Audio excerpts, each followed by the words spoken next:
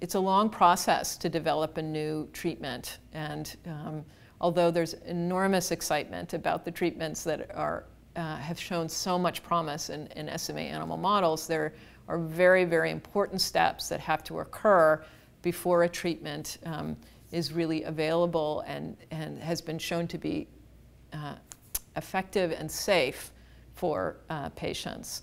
And so we still uh, have a lot to do uh, regarding some of these new, very exciting therapies.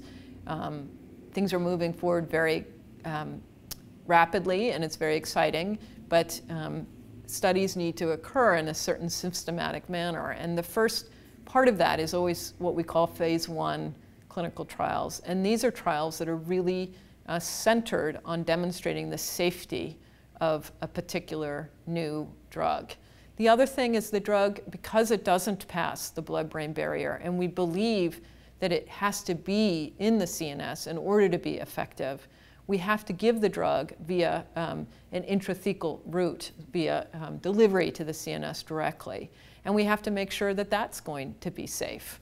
Um, we think it should, but these um, different parameters have to be evaluated first um, before subsequent phases um, of clinical study can go forward. Um, so the first step with the antisense oligonucleotide will be to do a phase one study in uh, SMA uh, uh, patients to, to evaluate whether or not it's safe or not.